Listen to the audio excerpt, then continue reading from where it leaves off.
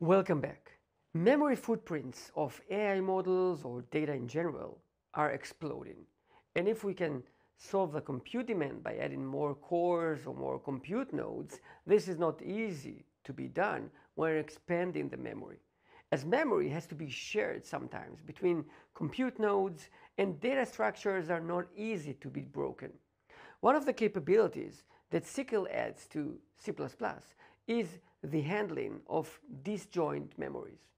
Memory spaces of GPU, FPGA, of CPUs look totally different, map differently, but for me as a developer, I don't care.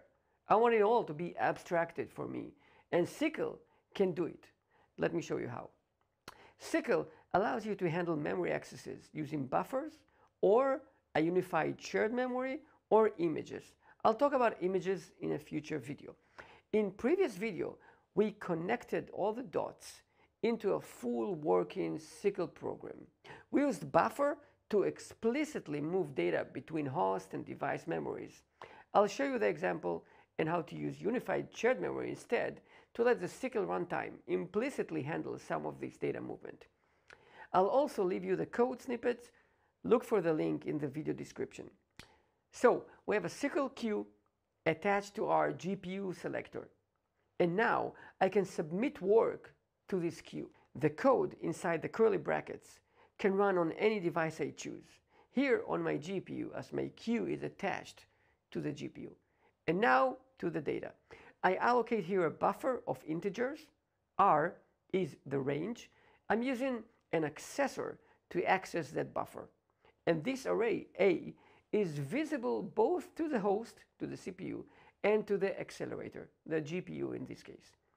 The actual physical data transfer between the host memory and the device memory, GPU in our case, are managed by the runtime. So when you define the buffer in the host, it doesn't mean that the device already see the data, but he will see it exactly when he needs it. I find the usage of buffers to be very elegant, but you can also use USM, Unified Shared Memory. So instead of allocating a buffer, I'm using here the good old malloc.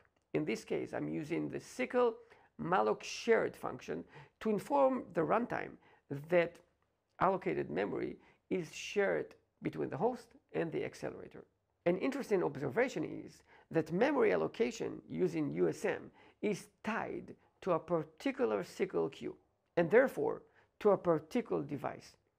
Buffers are more flexible as they are not tied to any single device. They can be accessed anywhere.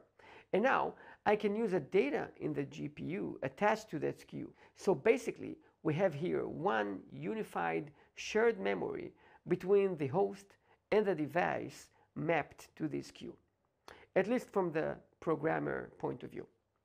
Pretty readable and close to your current C++ code style. By the way, there are other syntaxes that can work here.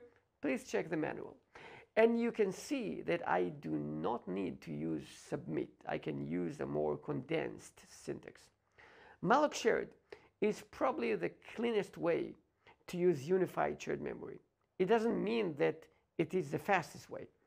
You basically leave the memory coherency and management to the runtime. If you prefer more control, you can use malloc host or malloc device, and by that, only the host or the device will own the data, which reside in the host or the device memory. And you will need to transfer the data between the devices you'll have to do it explicitly using memcopy. And here is a very simple, clean example. Again, find the link to the code below. Data is an array on the host, initialized. Device data exists only on the device, as we use here malloc device. I'll memcopy the data into the device data. So I'm copying the data from the CPU to the GPU. Pay attention that SYCL queues are asynchronous and non-blocking. So for memory coherency, you will need to wait for all the data to be transferred before you start manipulating it.